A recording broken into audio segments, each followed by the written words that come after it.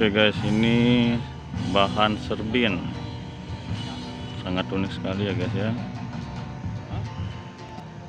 Ini lagi tidak kalah uniknya guys. Ini saing simbur guys. Inilah saing simbur. Oke guys, ini bahan satu ini sangat unik sekali ya.